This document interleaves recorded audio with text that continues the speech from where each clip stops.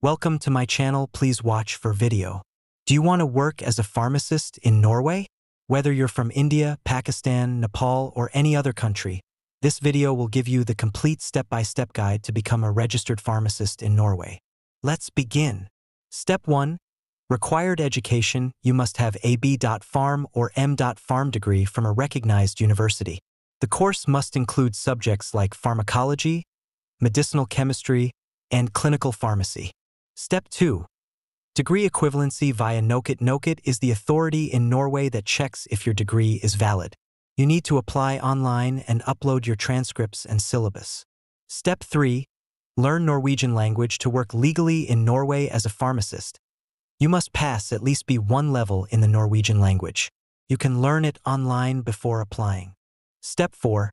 Apply for authorization, Helsepersonellregister. After degree approval and language proof, you must apply for professional authorization on the official health Helsepersonellregister website. Step 5. Internship, if required. Some applicants may need to complete a short internship or adaptation period in Norway.